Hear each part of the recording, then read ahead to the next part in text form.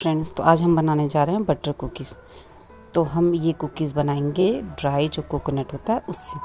देखिए, ये dry coconut था, उसे मैंने कद्दूकस कर लिया है और इस तरह से इसका पाउडर बना लिया है। तो इसका मेज़रमेंट देखिए 50 ग्राम मैंने कोकोनट को क्रश करके ले लिया है, उसका पाउडर बनाया है। तो ये 50 ग्राम पाउडर है। अब इसमें हम हाफ़ टी स्पून शुगर डालेंगे नॉर्मल शुगर जो होता है। और मेज़रमेंट देखा जाए तो ये 10 ग्राम शुगर है। तो ये मैंने 10 ग्राम शुगर ले लिया है।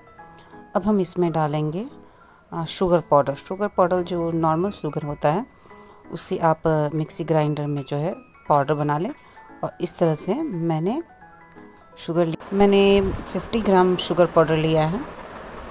इस तरह से आप मेज़रिंग में देख सकते हो कि ये 50 ग्राम है।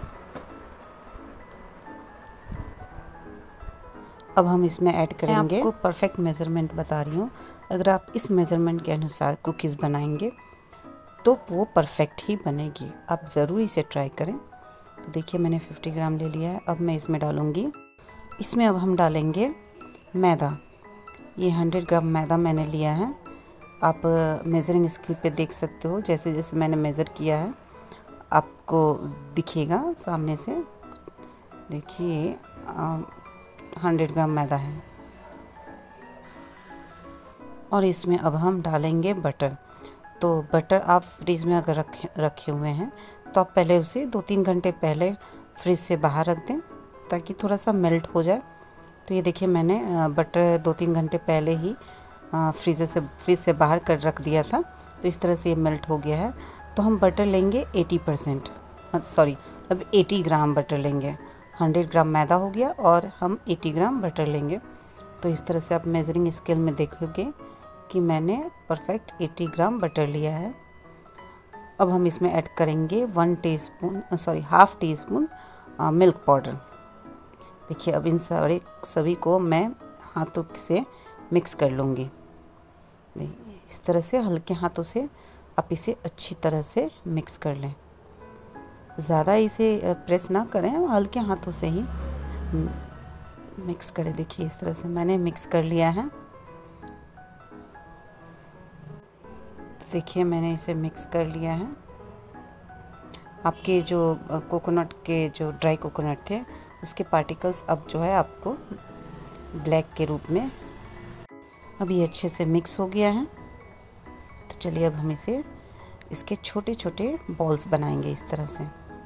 देखिए, अपने हाथों की सहायता से इस तरह से बॉल्स बना लें, जैसे मैं बना रही हूँ।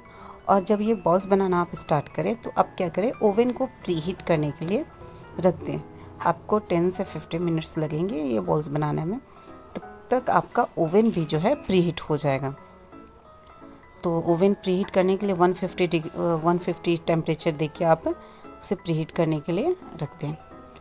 तब तक मैं ये बॉल्स बना लेती हूँ। आप चाहे तो किसी तरह का भी शेप दे सकती हैं। कुकीज़ का आपके पास अगर कुकी कुकी कटर हो तो उससे भी जो है आप डिफरेंट डिफरेंट डिज़ाइन दे सकती हैं। तो ये मैं आप, अगर आपके पास कुकी कटर ना हो तो आप सिर्फ़ हाथों से ही इस तरह से छोटे छोटे बॉल्स बना लें। हल्का सा प्रेस करके आप इसे ज़्यादा प्रेस ना करें। हल्का सा प्रेस करें और इस तरह से आप बॉल्स सारे बना लें। तो मैं आपको कुकी कटर से भी इसे बना के दिखाऊँगी। तो मैं सिंपल सिर्फ़ आपको दिखाने के लिए ही दिख, बनाऊँगी। तो देखिए मैं कैसे बनाती हूँ।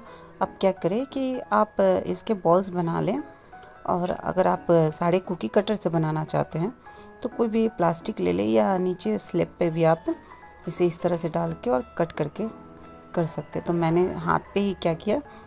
आ, उसे जो गोल बनाया था राउंड और थोड़ा सा प्रेस किया था और कुकी कटर से जो है ऐसे देखिए आप इस तरह से ऐसे डालें और ऐसे देखिए ये आपका कुकी कटर से जो है इस तरह का राउंड शेप आ जाएगा परफेक्ट राउंड शेप। तो ये मैंने सिर्फ़ आपको दिखाने के लिए इस तरह से बताया है और मैं नॉर्मली हाथ से ही करती हूँ क्योंकि कोकोनट कुकीज़ है तो ये बहुत ही सॉफ्ट होते हैं और बहुत जल्दी जो है टूट जाते हैं। तो इसलिए मैं इसे सिंपली जो है गोल राउंड शेप में ही बनाती हूँ।